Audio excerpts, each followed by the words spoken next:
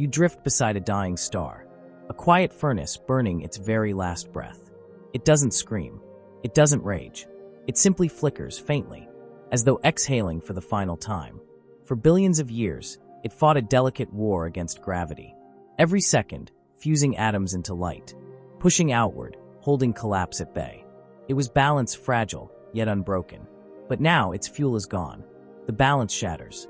The star swells outward into a giant, red and fading. A final flare, a last heartbeat of fire, before the end. And then, the core surrenders. Matter collapses inward, folding tighter and tighter. Atoms crushed into pure density. Gravity claims its victory. In the stillness that follows, a black hole is born, not with a roar, not with fire or thunder, but with silence. A silence so absolute, it bends space itself, twisting time, pulling even light into its shadow. The star's story ends here, or perhaps not, for from this darkness rises a mystery, a door to the unknown, a place where the laws of physics break, and the universe whispers secrets we have yet to hear. If you want to journey deeper into these cosmic mysteries, make sure to like, subscribe, and follow, because this is only the beginning.